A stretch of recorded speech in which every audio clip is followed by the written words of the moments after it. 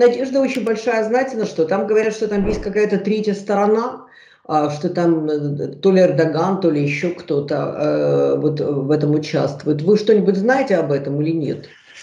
Не знаю, я только скажу вам, что мне все меньше начинает нравиться позиция Эрдогана, и все больше она вызывает у меня подозрений.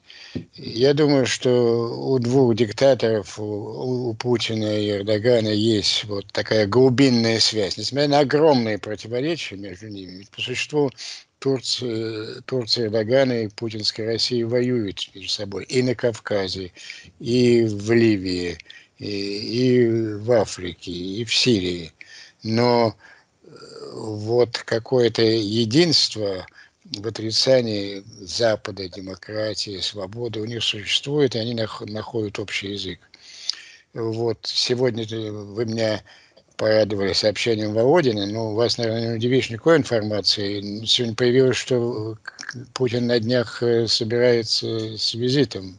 Да, да, да, да. И вот последняя, последняя заморочка Эрдоган, он пытается блокировать вступление Швеции. Вот как раз об этом хотела с вами поговорить.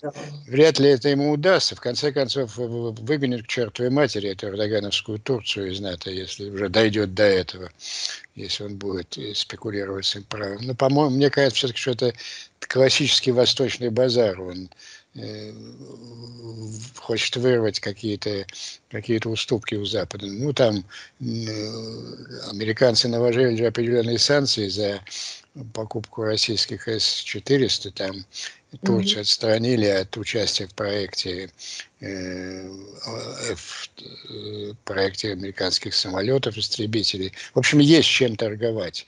Но в целом, в целом Конечно, он считался чуть ли не другом Украины. Ну, его позиция по Крыму, она, так сказать, принципиальная, но она тоже отражает, конечно, его собственные интересы. Да, и помощь э, э, военная была оказана Украине. Но вот сейчас он все более тяготеет, мне кажется, к российской орбите, и это не очень надежный партнер Украины.